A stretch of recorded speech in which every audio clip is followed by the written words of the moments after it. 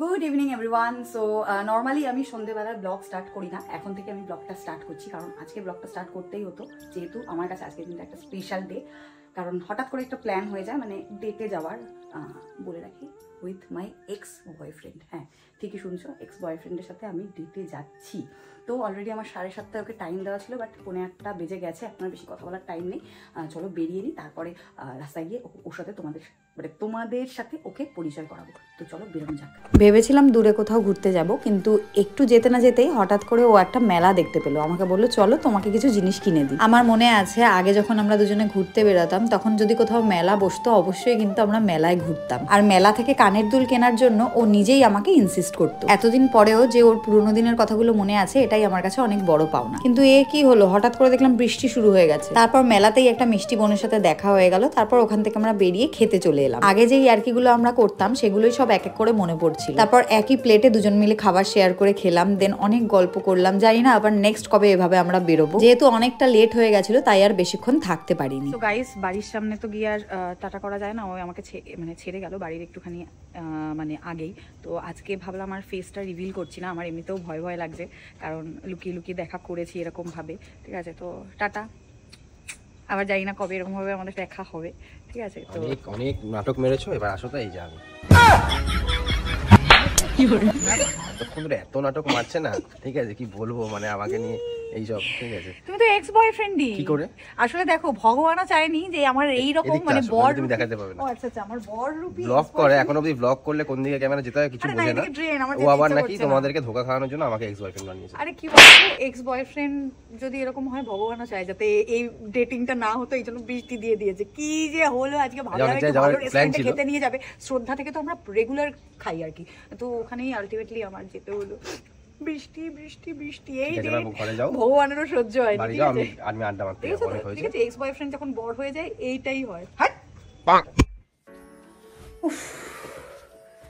Guys ঘরে এসে feel করতে পারছি যে কতটা গরম পড়েছে। এতক্ষণ বাইরে ছিলাম মানে কি বলব বেস্ট ছিলাম। আর একজন তো আমাকে পৌঁছে দিয়ে বেশ বেরিয়ে পড়লেন, তো আমি ভাবলাম যে আমি কি করব? তো ভাবলাম তোমাদের সাথে একটুখানি আমার মনের কথাই শেয়ার করি। দেখো, একটা হেলদি রিলেশনশিপের মেইন জিনিসটা হলো একে অপরকে টাইম দেওয়া, একে অপরকে বোঝা। তো তোমাদের কি মনে হয়? আমার আর শুভর মধ্যে এই জিনিসটা কিন্তু খুব ভালোভাবে আছে যে মানে যেটুকুনি টাইম পাই আমরা সেইটুকুনি আমরা চেষ্টা করি যে একে অপরকে সময় দেওয়া। যেমন আজকের দিনটাই আমাদের ছুটি ছিল, তো আমি, বিশেষ করে আমি প্রত্যেক সপ্তাহে ওয়েট করে থাকি আজকের দিনটার জন্য যে কখন একসাথে দুজনে বেরাবো।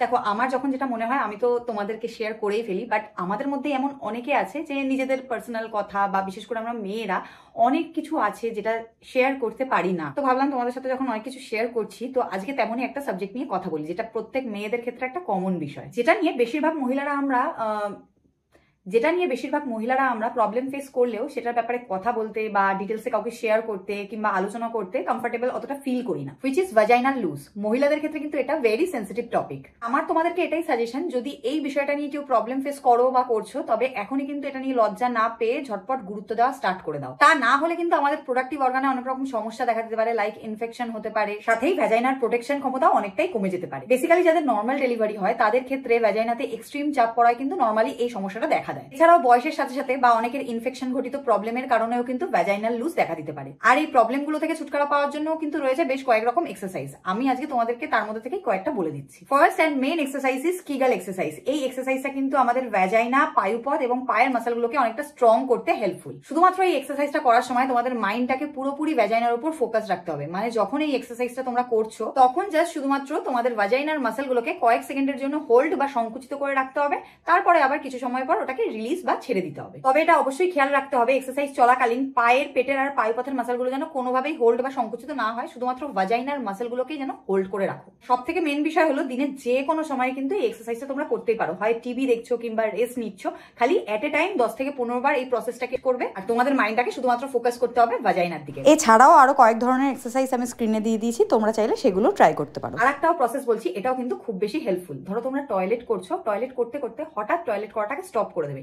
তিন থেকে পাঁচ সেকেন্ড হোল্ড করে আবার যথারীতি টয়লেটটা করা স্টার্ট করবে। এর ফলে ভ্যাজাইনা এরিয়ার মাসেল অনেক বেশি সংকোচন এবং প্রসারণের ফলে অনেকটাই স্ট্রং হতে পারবে। এগুলো তো গেল ঘরোয়া পদ্ধতি বাট যারা নিজেদের বিজি স্কেডিউলে চাইছো একটা ইজি এবং কুইক সমাধান, তাদের জন্য কিন্তু আমার কাছে আছে একটা best product which is Everteen's Unilife revitalising intimate gel কারণ এতে থাকা ইনগ্রিডিয়েন্টগুলো এতটাই বেশি কার্যকরী যে আমাদের ভ্যাজাইনাল মাসেলকে ঠিক আগের পর্যায়ে নিয়ে যেতে অনেকটা বেশি হেল্পফুল সাথেই যাদের ভ্যাজাইনাল ডিসচার্জ হয় না বা রিলেশনশিপে থাকাকালীনও ভ্যাজাইনাল ড্রাই হয়ে থাকে, তাদের জন্য কিন্তু এটা বেস্ট প্রোডাক্ট ড্রাইনেস দূর করার সাথে সাথে এছাড়াও কিন্তু এই প্রোডাক্টটা আমাদের ইরিটেশন ইনফেকশন দূর করে সাথেই আমাদের ভ্যাজাইনার পিএইচ লেভেলকেও বজায় রাখে। এই প্রোডাক্টটা ইউজ করার আগে শুধুমাত্র তোমাদের হাত এবং ভ্যাজাইনা ভালোভাবে ক্লিন করে নেবে। এরপর এই জেলটার একটা পাম্প হাতে নেবে এবং সেটুকু দিয়েই ভ্যাজাইনা এরিয়াতে ভালোভাবে মাসাজ করে নেবে। যতক্ষণ না অবধি জেলটা পুরোপুরি অ্যাবজর্ব হয়ে যাচ্ছে ততক্ষণ অবধি কিন্তু মাসাজটা কন্টিনিউ করবে। তারপর চাইলে তোমরা ওয়াশ করে নিতেই পারো। যারা ভ্যাজাইনাল লুসের সমস্যা নিয়ে অনেকদিন ধরে ভুগছো এবং চিন্তায় আছো তাদের জন্য কিন্তু এটা বেস্ট প্রোডাক্ট ইউজ করো আশা করি অনেকটা বেশি হেল্পফুল হবে। আর দ্রুত রেজাল্ট পাওয়ার জন্য কিন্তু এই প্রোডাক্টটা ডেলি বেসিস তোমাদেরকে ইউজ করতে হবে। চিন্তার কোনো কারণ নেই কারণ এই প্রোডাক্টটা একদমই ন্যাচারাল ইনগ্রিডিয়েন্ট দ্বারা তৈরি no harmful chemical no toxin